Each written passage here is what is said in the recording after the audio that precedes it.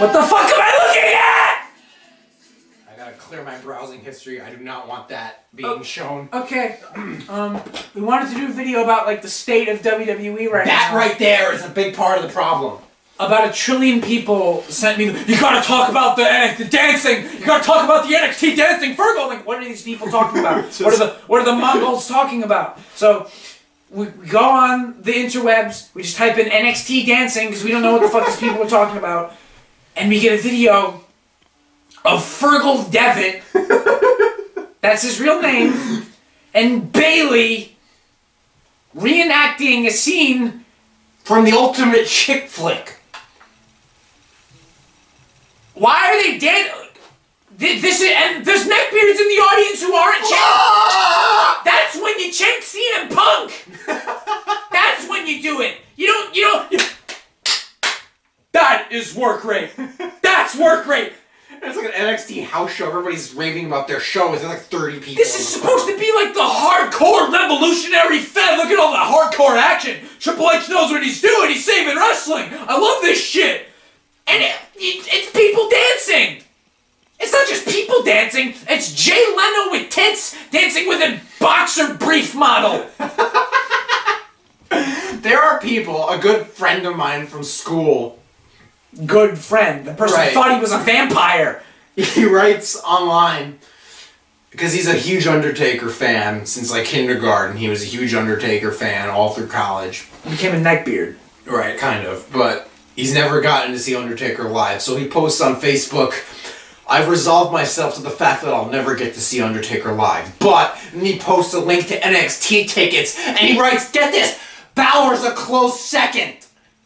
Are you fucking kidding me?" This motherfucker makes Patrick Swayze look like John Wayne.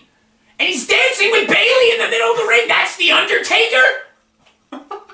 that that's the next best thing to seeing the Undertaker? This fucking GQ model dancing with Jay Leno with a vagina? He puts scary face paint on. Oh good, he looks like Ultimate Carnage card.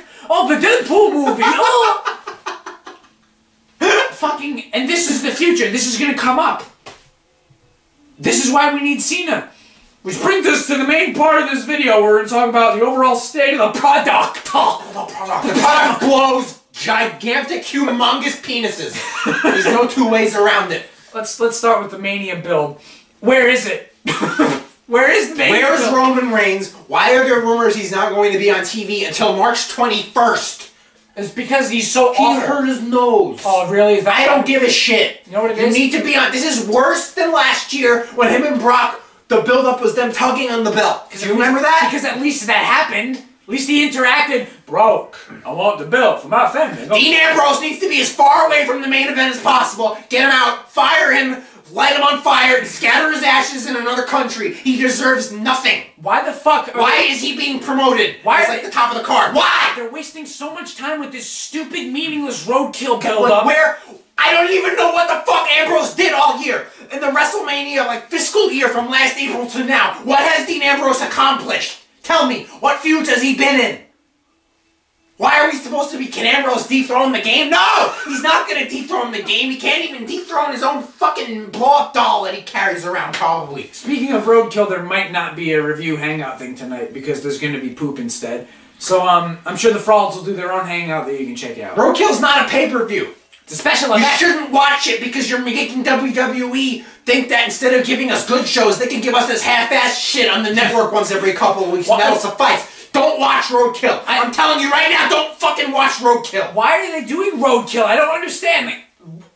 The match is Triple H versus Roman Reigns. I get that people hate Roman Reigns and having him on TV isn't going to help him, but that's, you know, you dug your fucking grave, now lay in it. Ambrose versus Triple H does nothing to help because Ambrose is not going to fight Triple H at WrestleMania. He's fighting Brock Lesnar, which I don't give a shit. This is like the first time I don't give a shit about a Brock. I even cared about the Punk one. I don't care about this Brock Lesnar match. You know what people really don't care about? They don't care about Lesnar versus Bray Wyatt at Roadkill. Why are you doing this? What is this pay-per-view special event on the network for $9.99 there, John Fremont? What is that doing for anybody? It's not building towards Mania because nothing at it is connected to Mania in any way.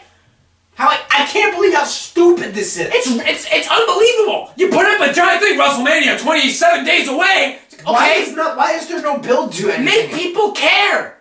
Jesus Christ Almighty! You can't have the Undertaker Even if, even if uh, Ambrose versus Lesnar is a shitty feud, it, do the fucking mustard squirting. at least that's part of the feud. I'd rather have Ambrose squirting mustard at Lesnar than having him fight Triple H because that does nothing. And this Undertaker shit in recent years is getting out of control now. I get that he's old. I get that he's arthritic. I get that he doesn't give a shit anymore. But then don't do Undertaker matches. Have the fucking guy on Raw every week leading up to Mania and have him on for more than two minutes. Have him do more than point at the motherfucking sign. I love him. I think if Undertaker wants to be a part of it, he has every right to. They can give him the belt for all I care, but he's got to be there. It's ridiculous. I, I'm tired of this stupid shit where someone's cutting promos And we're about- not changing our position on No. part timers. I like part timers. I think they're great. But while they're part timing, like at least when Jericho part times, he's on every week. Batista was doing house shows when he was Right, you part-time. have to be on, and if you physically can't, then just retire. Seriously, it's obnoxious that Vince McMahon, oh, The Undertaker's gonna fight my son Shane. It's gonna be a great match. You're gonna love it. And then he come, the, last week when the fucking gong rang and Vince came out, why are they doing that? They, they know we want to see Taker, so they do this stupid bait and switch bullshit that isn't funny. It's not a heel thing. It's just fuck you, audience. That's what it is. The company is saying fuck you every week with these garbage ass shows. You have one cool moment in the last year when Shane comes back.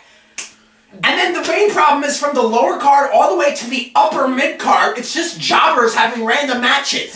like, this is why I don't care about Ambrose versus Lesnar, because the entire year, Dean Ambrose has been having quote unquote five star matches with the likes of Ziggler and Owens every week. Bray Wyatt. It does nothing to enhance his character, it does nothing to enhance his credibility. Lesnar is the Lesnar matches. You have this part-time guy who's an immediate draw because he has name recognition from UFC and football and everywhere he's ever been. People love the guy. His goal in the company is to fight big fucking stars to make people really care. Like Lesnar versus Batista, that'd be a fucking dream match. Lesnar versus Triple H again would be another dream match, even though everyone pretended to hate that. No, he put him with Dean Ambrose for no reason, and then before that, instead of Other than that, Ambrose is inside. yeah, don't build that feud up. Have him fighting Bray Wyatt for no reason.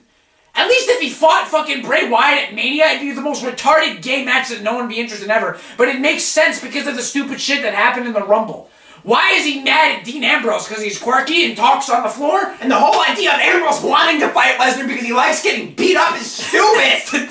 He's cutting promos saying, oh, Lesnar, you're, you're probably going to hurt me a lot and probably beat me. That's why I like pain. Oh. Great, so get on your fucking knees and let Vince whip you backstage. Don't get off my fucking TV screen. Ugh. What else is even happening at WrestleMania? Nothing. Not. Oh, AJ Styles and Jericho. Oh, right, that's going to be an exciting match. They're going to spoon in the ring. That'll be great. Ugh. Nobody knows who Styles is. They can put on a 12 star match and no one will give a shit. Yeah. It'll be just like when Fandango fought Jericho. I was like, why? Is You know why no one will give a shit? Because this time, two months ago, neither guy was on TV. Uh, there's nothing. We'll have like 20 Divas matches and we'll say there's a oh. revolution going on. Yeah, Charlotte will be there and her face will be on the screen and we'll, we're supposed to be impressed by her athleticism. And All this diva shit has done is make me have to look at pictures online of 300 pound men cosplaying as Becky Lynch. Ew, really? The Divas Revolution is one of the worst implemented ideas in the history of media. It's taking something something no one gave a shit about to begin with, shoving it down our throats and having the most turn off offish, douchey asshole and Michael Cole try to convince us that we're actually enjoying it. Take three of the weirdest looking women on the planet, tell us how beautiful they are, make them have the same boring, unwatchable shit matches as before, but instead of ignoring it like you used to, have the faggot meatloaf man tell us that it's amazing. It's like if you're in fucking high school and you get the mystery meat for lunch, and, as you're shoveling it in your mouth, trying not to vomit, Michael Cole's standing over your shoulder. Ah, meat's really good. Every Monday we get to have this great mystery meat. Loving it. That's what this shit is. Before that, you'd eat the mystery meat, try to throw up, but no one would be there telling you it was great. Everyone would be around like, yeah, this is shit. Now people are pretending it's like filet mignon. It's awful. And can we get some normal looking women, please? Charlotte Flair is ridiculous. It looks like something from a comedy movie when you're in a strip club, like, oh wow, let's get some hot babes, and then this thing walks over. that, that's Charlotte fucking Flair. Sasha Banks, with her neon pink hair, needs to either dye it a normal color or hang herself, grow some fucking bangs because you got a forehead like an alien and you look like Jar Jar fucking Binks. Open your eyes all the way, you're not Asian. And Becky Lynch with her fucking orange fucking hair and her dumb goggles and trench coat. Stop cosplaying! She's not cool! It's some fucking neckbeardy steampunk bullshit that no one like. What the fuck is steampunk? Everybody's all steampunk's real fun, guys. What's steampunk? Oh, it's a, it's a, it's an alternate past where. uh, This is the shit we're dealing with instead of WrestleMania! What else is even happening? There's nothing else happening. Who's getting in the Hall of Fame this year? Uh, Big Boss Man, Big Boss Man! The Godfather, Stang. Um, That's great. I don't even remember. Oh, the Fabulous Freebirds. Don't don't Google Michael Hayes, children. Rosa Mendes is gonna give the acceptance speech. Man, dark times, folks. it's really bad. Every year it gets progressively worse. I thought 2014 was going to be the worst year in wrestling history, and then 2015 happened, and I'm like, fuck, that's really bad. Nothing's going to beat that. And then so far we're like two and a half months into fucking 2016, and it's fucking worse. Yeah, Shane's back. That's awesome. Okay. Do something. Do something other than punch security guards and. Can we, like, Garbage. everything stinks. It stinks. Fuck Cody Rhodes. Wait, one more thing! You can't give WrestleMania away for free! At least, I'm tired of this. Give a credit to the people that have had the network for the past three years. Yeah. It's bullshit! The people who can build twice a month.